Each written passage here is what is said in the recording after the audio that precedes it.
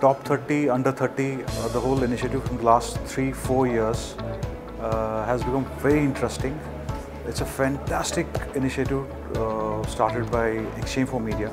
I think uh, well done, guys, uh, because this is one one platform where you know there's a lot of encouragement, a lot of uh, that you know people get at least the future leaders, young leaders, and so in terms of the initiative, it's fantastic and it has done well in the last three, four years. At least I have been seeing from last two years actually, and uh, this year I have been part of the jury. Uh, I have seen the inside what actually works and what what goes into making all these uh, choices and all that.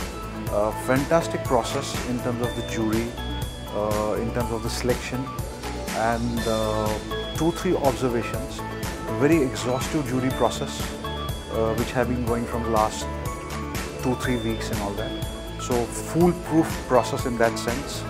Uh, I, I quite liked it. Uh, very interesting. And second is the kind of talent we got, the kind of future leaders we have been scanning through actually.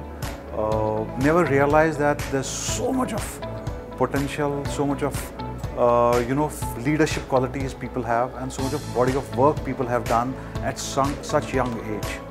So uh, congrats, guys! I think uh, it's, it's it's a definitely a eye opener uh, for all of us uh, and for the jury. That that's what we were discussing actually.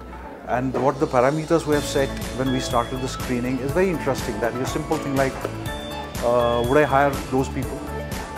Immediately, it's it's up to you. The responsibility builds up on uh, on on you that will you do it or not. So, fantastic. Enjoyed the process. Well done and congrats.